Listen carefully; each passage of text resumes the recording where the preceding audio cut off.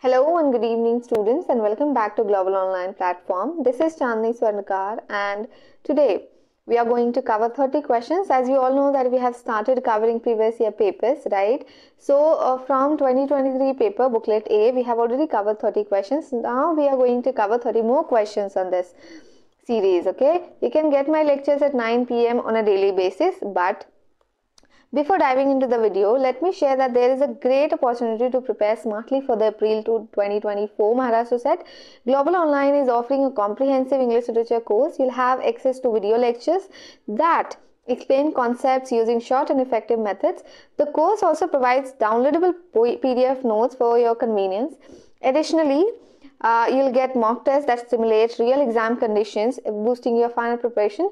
To learn more reach out to the provided contact number. Now, if you want to watch free videos, first download the Global Online app. Once you are in, head to the store section. There you'll find details of all the courses, right?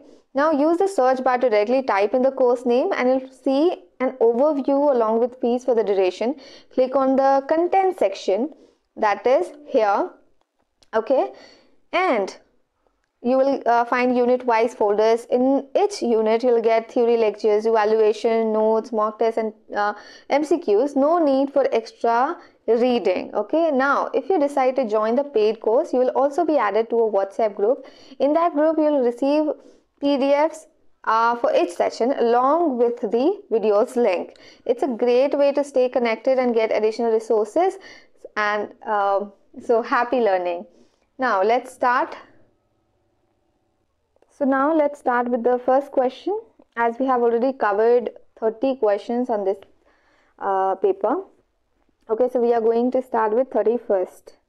Question number 31. Okay.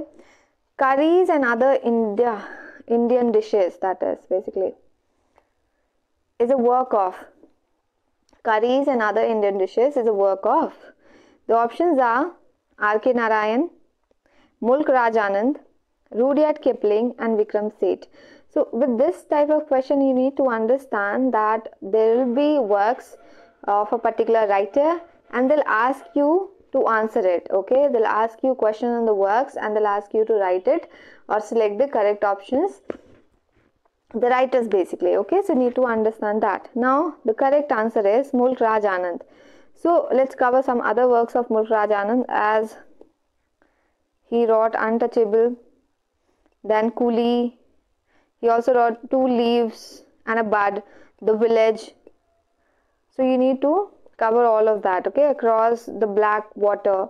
These are the works, and including that, you need to cover this writer's works as well. R.K. Narayan's work, Rudyard Kipling's work, Vikram Seth's work, okay. Moving on to question number 32. All About H. Hatterr is written by. All About H. Hatterr is written by. Something extra I need to tell you here. H Hatter, basically H stands for Hindustan Wala. Okay. For what? For Hindustan Wala. Okay. It was published in 1948. 1948. The options are Bhavani Bhattacharya, Anita Desai, G.V. Desai. Basically, this is not Desai, this is Desani. Desani. Manju Kaur okay? So the correct answer is G.V. Desani but let me tell you some other works by G.V. Desani. Hali Colin a play which was published in 1952 52 Hali and collected stories. They actually collected it and published altogether. So it was in 1991 he published it okay so the correct answer is c. Moving on to third question. Question number 33 which of the following texts can be classified as belonging to the middle english literature? So you need to tell us or uh, to the examiner that which are the works that belongs to middle english period okay? So here the options are Caedmon's hymn and Beowulf. Beowulf and Caedmon hymns, of course, belongs to Anglo-Saxon period, right? Because when we were doing or covering Anglo-Saxon literature, I already talked about it. Next option, The Faerie Queen, Astrophel and Stella, and the Spanish tragedy. These are works from Elizabeth age, Elizabethan age. Third one, Volpone, The White Devil, The Changeling. Uh, it is, I think, Jacobean period, of course, Ben Jonson. Then the fourth one, Piers Plowman, Sir Gawain and the Green Knight, and the Canterbury Tales. This is actually belongs to Middle English literature. Okay, so the correct answer is D. Piers Plowman, Sir Gawain and the Green Knight, the Canterbury Tales, right? Moving on to question number 34. Shelley, that means P.B. Shelley, defends poetry against the attack of like he defended poetry against uh, against the attack of whom? Options are robert southey walter scott thomas love peacock and samuel t. basically taylor coleridge so see a defense of the basically the title uh, of the essay is defense of poetry and that was written in um, 1821 but after his death after the death of the author it was published in 1840 basically in this particular essay he argued or talked about the importance and value of poetry as a force for social and moral good okay? So against whom he wrote it? Thomas love peacock. The third one is the correct answer okay? So do remember this. Moving on to question number 30 okay i i think i just missed 35 okay let's cover 36 which among the following poets has written the lines? Bliss was it that dawned to be alive but to be young was very heaven. Bliss was it that dawned to be alive but to be young was very heaven. If you are young please be happy about it okay? Don't panic and don't stress out. So the options are basically I tell you that these are the lines from the prelude. And if you know who wrote prelude, you can answer this question. Prelude. The options are William Wordsworth, Robert Southey, Lord Byron, and D. Thomas De Quincey. So, of course, the prelude has been written by William Wordsworth. And do read and do find out the publishing year of the prelude and other works of William Wordsworth. And if somebody uh, cannot understand the language or the way I'm speaking, please uh, try to understand because you are supposed to read in English. If you are an English literature student, if you are supposed to read in English, you can, uh, you have to speak in English. You have to understand English language, right? So you need to, and I am speaking in a very simple way, so you will get it. Question number 37. Let me not to the marriage of true minds admit impediments. Love is not love which alters when it alteration fans. It basically, love is not love if it changes. Because even after fights and even uh, somebody tries to um, do some hodgepodge in your relationship that will never going to work out because if you love somebody you'll trust that person so that is actually the lines are saying love is not love which alters when it alteration fans so you need to find out the above lines are from a sonnet by whom okay? So whether it's william shakespeare sir thomas wyatt edmund spenser or sir philip sidney okay? So these are the lines from sonnet sonnet 116 and written by william shakespeare. So the first one is the correct answer. Moving on to question number 38. Who among the architect and stage designer who had provided the sets for Ben Jonson's mask? This is masks. Masks. Okay. Now you need to tell us that. Whether it's John Webster, Inigo Jones, John Ford, or George Chapman. Okay. So basically, Inigo Jones was the one, and uh, he actually collaborated with the playwright, of course, the Ben Jonson, and uh, uh he helped him to produce uh, a series of masks. Okay, for both for both whom for James the First and also for Charles the First. Do remember this detail. So the B will be our correct option. Moving on to question number 39. Who calls his novels comic epic poem in prose? Comic epic poem in prose. Now just imagine comic is here, epic is there, poem is here, prose is here, contradictory, contradictory basically. So you need to answer that. Okay, so the options are Daniel Defoe, Henry Fielding, Laurence Sterne, and Samuel Richardson. Basically, for a particular work, this phrase has been used. By whom I'll tell you, but the first thing I need to tell you here is Abraham Adams. There's a work, Abraham Adams.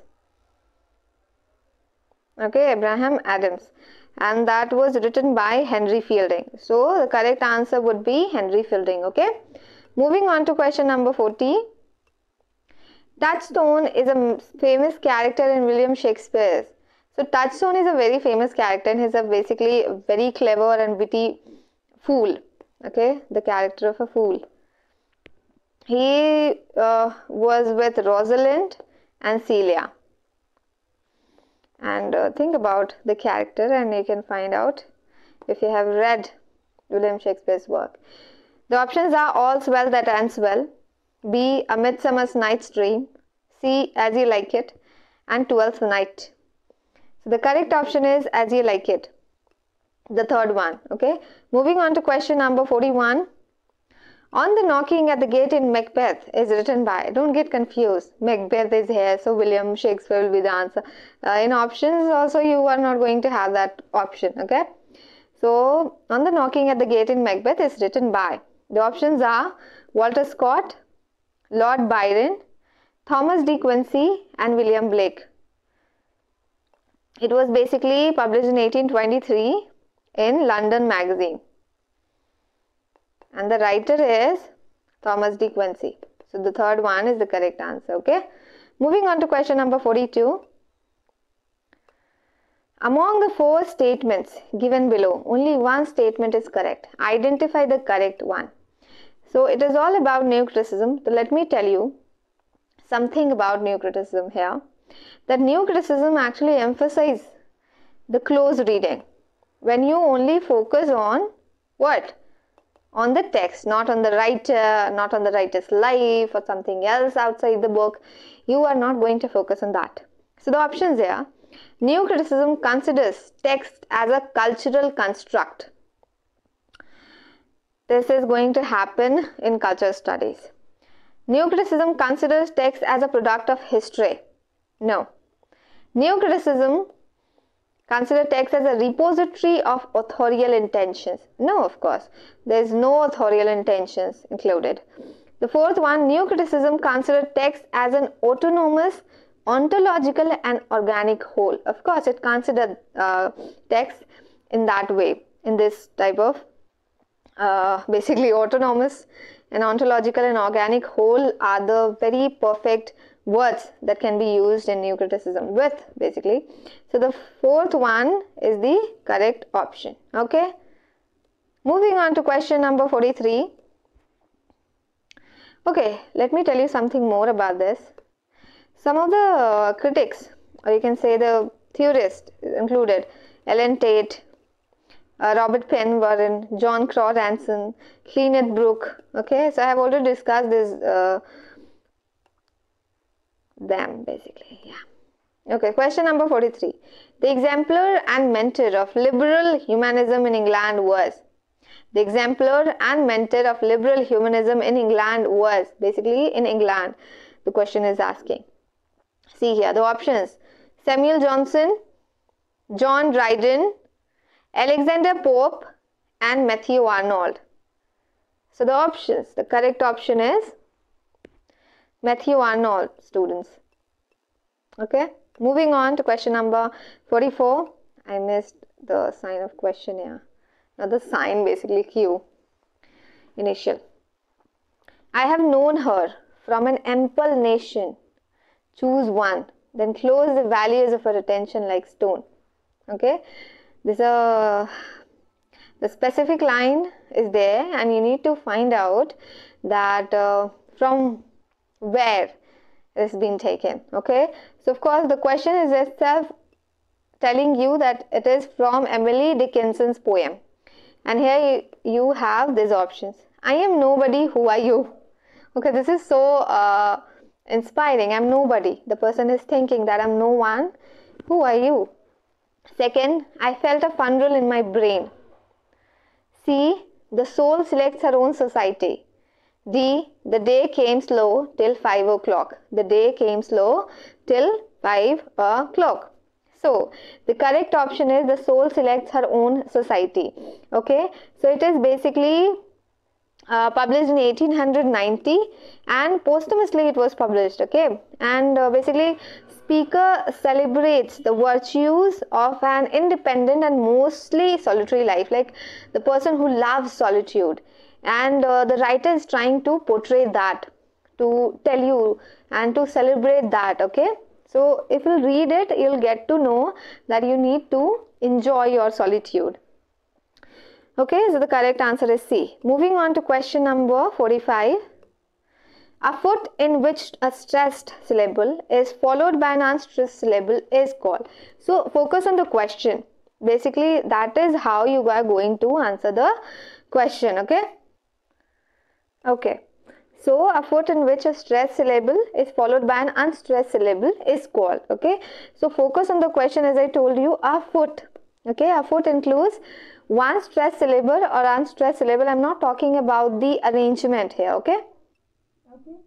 So here, anapestic. Anapestic stands for what? Anapestic follows an unstressed syllable followed with stressed syllable, okay? Okay, so unstressed syllable followed with stressed syllable, okay? So here you can see that, that, that what? Here the question is asking a stressed syllable is followed by an unstressed syllable, so we are not going to consider this option. The second one, basically trochee, that is also known as trochee, that is followed with stressed syllable with unstressed syllable. Okay. Then the fourth, fifth, uh, sorry, third one, iambic. Iambic basically it is not a foot. It uh, is considered four, five foot into a feet. So it is feet.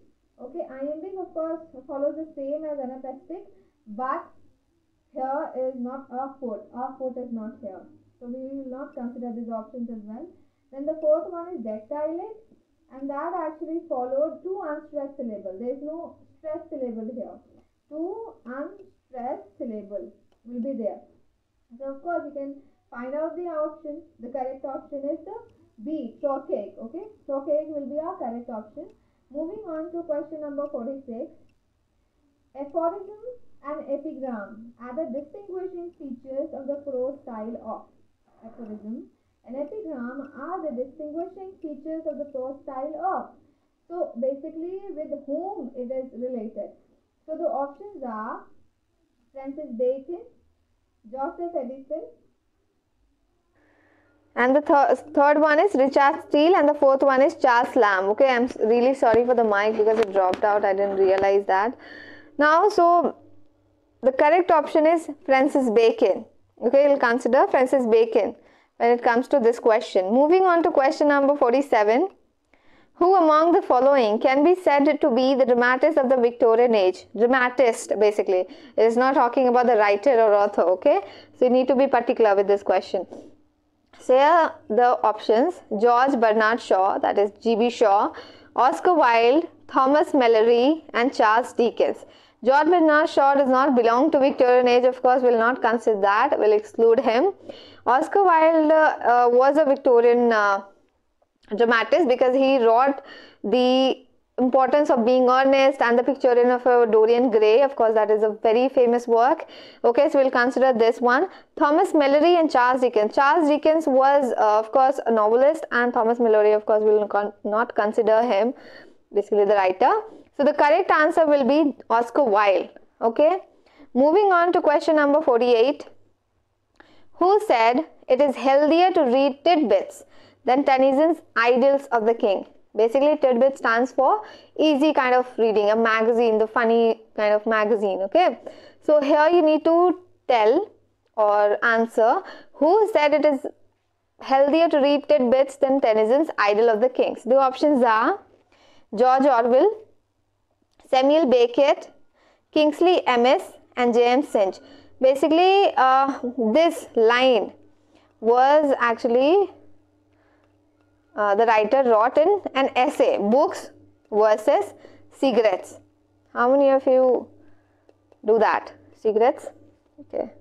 Never mind. Okay so the writer of this particular work is george orwell and that was published in 1946 so the correct option will be george orwell. Moving on to question number 49 we're going close to the end which one of the following novels is a part of Lawrence Durrell's Avignon Quintet? So, let me tell you, there is a five series of novel, okay, five majestic novels, and you need to know the uh, names of it. Monsieur, and you can also search it out if you will get confused. Livia, Constance, and the one is Sebastian, and the other one is Quinx. Okay, so you need to remember this so that you can answer the questions. So the correct option is Sebastian. The question number 49's answer is Sebastian, the B. Option B. Moving on to question number 50. The realization of a morpheme in terms of a phoneme is called the realization of morpheme in terms of a morpheme is called. Sometimes you'll get confused okay that would be morphonemics because somewhere it is related morpheme and phoneme phoneme and we can add it together mix it together and you can get a word morphonemics so that is very stupid of you if you'll take that. Okay the other options is phonetics third semantics the fourth one is pragmatics pragmatics uh, pragmatics hai. That is pragmatics. Okay so the correct answer is phonetics. Do remember this. And if you don't know this word's definition read it out. Moving on to question number 51 this is basic very basic. I will not explain. Which is not a work of franz kafka? The first option is metamorphosis. Caucasian chalk circle. Caucasian chalk circle was written by Bertolt Brecht. Of course, this is a work uh, of Bertolt. Okay, so of course this will be this can be an answer.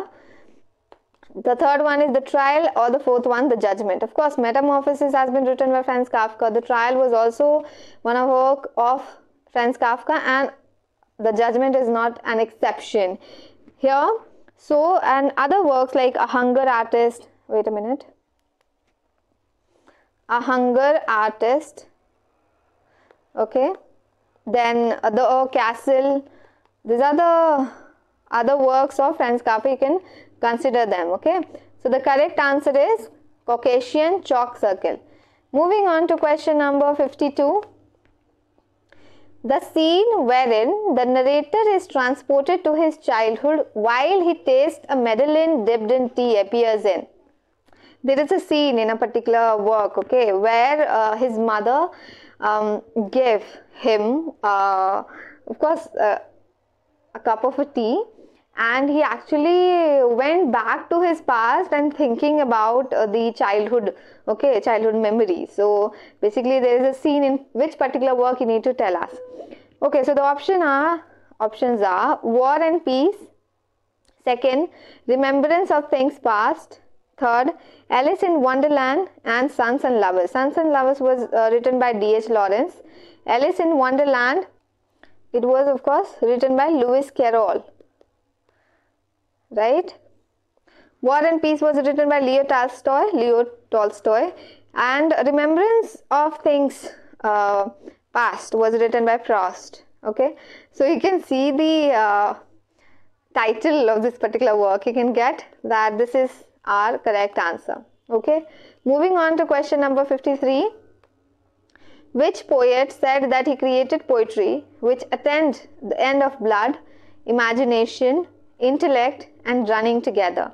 Which poet said that he created poetry which actually attend the end of blood, imagination, intellect running together? Okay, so who is the writer?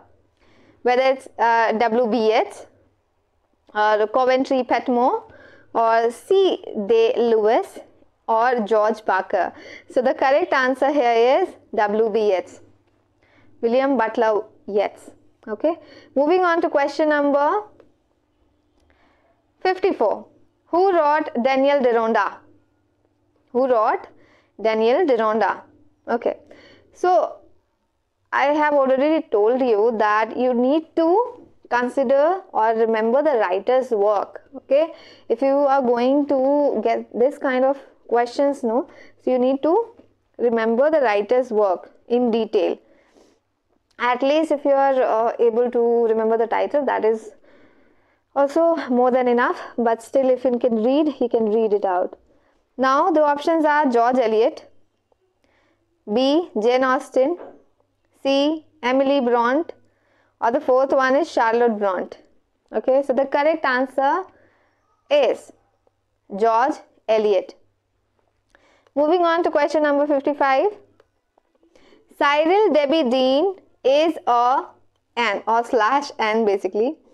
Whether mm, whether it's a Australian playwright or Canadian poet or African novelist or American dramatist. Of course, it belongs to Canadian poet. Okay, the correct answer will be Canadian poet. Moving on to question number 56. The term diaspora comes from. The term diaspora comes from whether it's from Latin, French, Greek, Scandinavian. Okay, okay so the term diaspora comes from from greek okay from greek it came and there is a word dia sparrow okay and that actually mean to show over. Okay so the correct answer is greek. Moving on to question number 57 which of this is not a translation of the bible into english? So it seems every uh, bible is a translation of a Bible. So you are going to get the answer straight here. So the options are Caxton's Bible, Tyndale's Bible, King James Version or Wycliffe's Bible. So with only one Bible you can get the answer from. Okay, so Tyndale's Bible is basically directed, uh, uh, directly translated from Hebrew and Greek text. Okay, so this is not something related to the Bible. So of course Hebrew and Greek text directly translated from text not title. So the correct answer is Tyndale's Bible. Okay. Moving on to question number 58. A deep thong is a deep thong is what? A deep thong is a sound. Sound. See the option number B. A sound formed by the combination of two vowels. Two vowels in a single syllable. There will be no other syllable more than one. There will be only single syllable and a sound basically formed by the combination of what? Combination of two vowels in a single syllable. That is deep thong. Okay. So don't forget that. Do remember it because there's no other options you can do or you can answer such questions in the exam hall. So B is the correct answer. Moving on to question number 59. Who amongst the following is not a primary practitioner of deconstruction? So basically, when it comes to deconstruction, Jacques Derrida is the prominent figure here, okay? But other than that, other theories were also there, but the options are Paul de Man, Barbara Johnson, George Lukács, or J. H. Miller.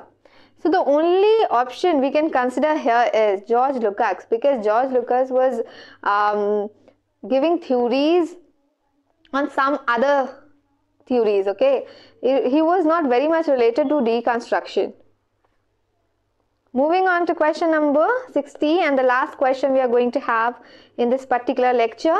Who in an essay of dramatic poesy by Dryden represents the ancients? who in an essay of dramatic poesy by Dryden represents the ancients.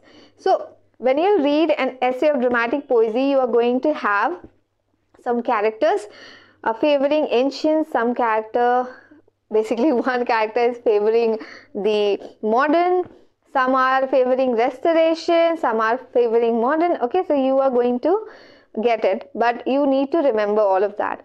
So the first option is Lisideius, B. Keats, C. Eugenius or that is John Dryden. Of course, John Dryden was also there. He was also uh, favoring something. But the correct answer is favoring the ancients or representing the ancients. That is Keats. Okay. The correct answer is B. Now we have completed study lecture. We are going to cover other questions on our upcoming lectures. And thank you so much. And if you have any suggestion, you can comment down below. Okay, thank you.